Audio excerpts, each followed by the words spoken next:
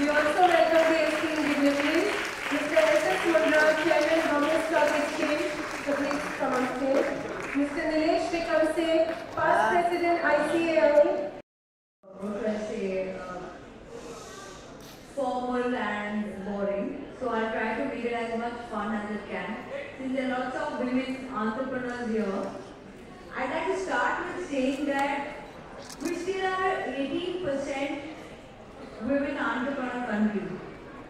And that is very, very sad.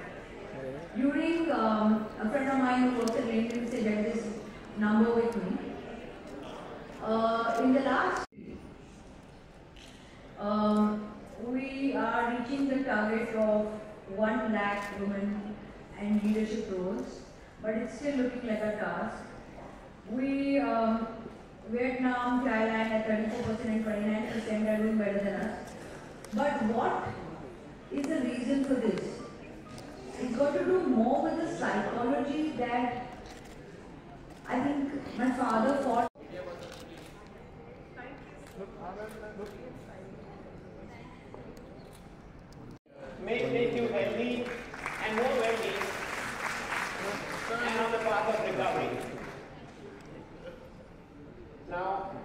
Ready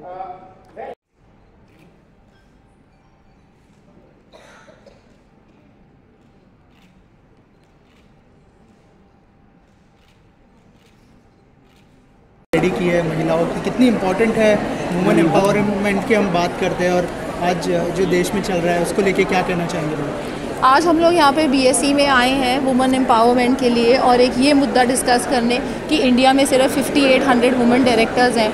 तो हम लोग एक ग्रीन आर्मी पे काम करते हैं, जो कि जो रूरल वुमेन हैं गुजरात में, बिहार में यूपी में, झारखंड में, हम उनको इम्पावर करते हैं सेल्फ डिफेंस में और उसके बाद वो उनको सक्षम बनाते हैं कि वो खुद से अपने आप पे, पैरों पे खड़े होकर अपनी काम कर सकें, अपने लिए कमा सकें ताकि वो अपने परिवार का संरक्षण कर सकें। और इसके लिए हमारा ये काम करीबन चार साल से चल रहा है और ये पैंडमिक में शुरू, थोड़ा पहले उससे शुरू हुआ था।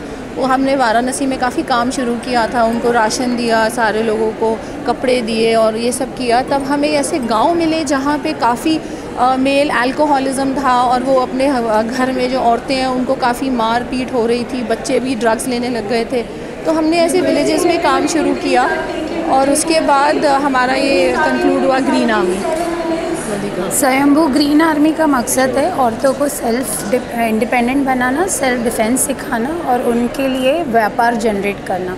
आजकल औरतों के लिए व्यापार की बहुत ज़रूरत है, उनको सिखाना कि उनको ज़िंदगी में क्या चाहिए। उनको हर एक चीज़, गवर्नमेंट ने बहुत सारी सब्सिडीज़ बनाई है, मोदी जी ने औरतों के लिए काफ़ी कुछ सब्सिडीज़ बनाई है, जिससे उनको दिया बनाना सिखाया जा सकता है, चटाई बनाना। जब वो ये सब सीख लेंगी तो उनको एम्प्लॉयमेंट देना बहुत ज़रूरी है।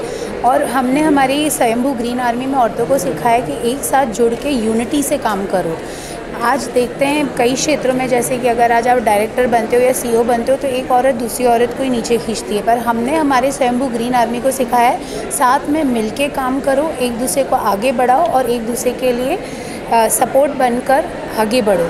जब हम सब साथ में आगे बढ़ेंगे तो ही कुछ कर पाएँगे। वाराणसी से अब हम हमारी ग्रीन आर्मी को झारखंड ले जा रहे हैं। राजस्थान ले जा रहे हैं गुजरात ले जा रहे हैं क्योंकि जितनी औरतों को व्यापार जितनी लोगों को सक्षम बनाएँगे कि वो अपना खुद का स्वयं का काम शुरू कर सकेंगे फिर वो आने वाले टाइम में अपने से और पचास को सिखाएँगे तो 200 को वो आगे ट्रेन करेंगी।